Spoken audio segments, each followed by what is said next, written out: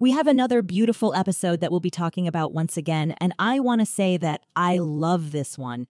There's only one thing that bothers me about this episode, but I'll say it through the end of this video. Now, I want to focus on the episode.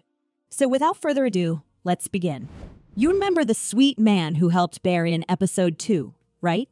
Yes, I'm talking about Maximus who was growing eggplants for star people in that episode, he mentioned Mabel, aka Elora's grandma, and I just felt that we were going to see him once again, and apparently, I was right. This episode shows his past, as well as other older characters we know from the town. Also, we get to know how it all started, meaning the first time he met Star People. Apparently, Maximus was Fixico's cousin, and they had an argument in the past. So we see that even though it's the end of a school year, he doesn't want to stay with him, but instead he wants to stay at the boarding school. We learn that he doesn't have a family besides Fixico and his grandma, and that was actually the topic of their argument. While everyone thinks that the beef between them was about Mabel because she dated Fixico earlier and is now dating Maximus, we learn that it's not true at all. Anyways, like I said, it's the end of a school year, and Maximus's friends want to get some acid and get high. He lies about using drugs because we learn that he has never tried acid and it hits him at some point. While they get ready to get back home, Fixico shows his concern for Maximus, and I feel like he tries to fix the problem between them. But Maximus has no similar intention, and he just gets in the car and starts driving along with his friends. On the way back, everyone falls asleep except for Maximus. And while driving, he sees something strange, so he stops. He sees a UFO and a star person who claims to be his relative. I can say that he's quite surprised, but also mesmerized. When his friends realize the car has stopped, they wake up and check Maximus if everything is okay or not. He tells them what happened, but as we all expected, nobody believes him, even Mabel. I can't blame them. They were really high, and it's something difficult to believe. I don't even know whether I should believe him or not at this point. So I guess this is when it all started.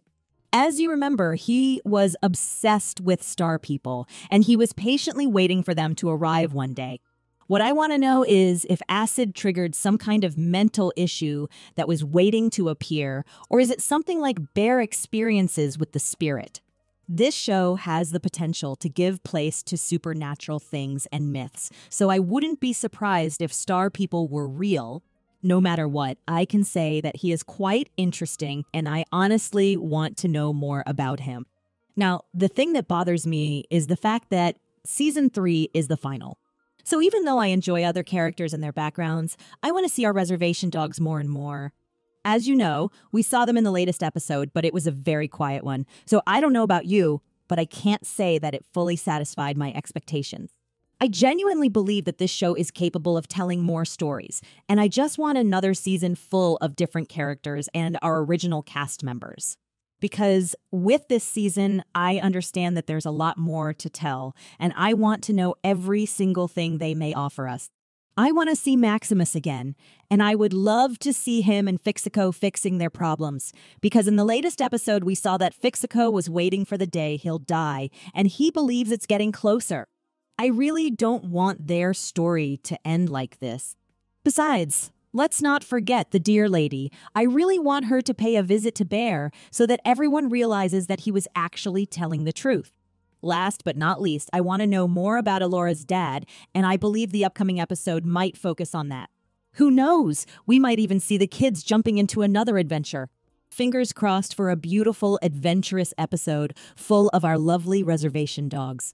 That's all for me now. Next week, I'll be here with another episode of Reservation Dogs, so make sure to subscribe.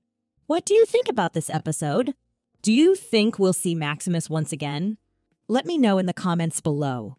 If you enjoyed this video, consider hitting the like button and sharing it with your friends. Thanks for watching, and see you soon.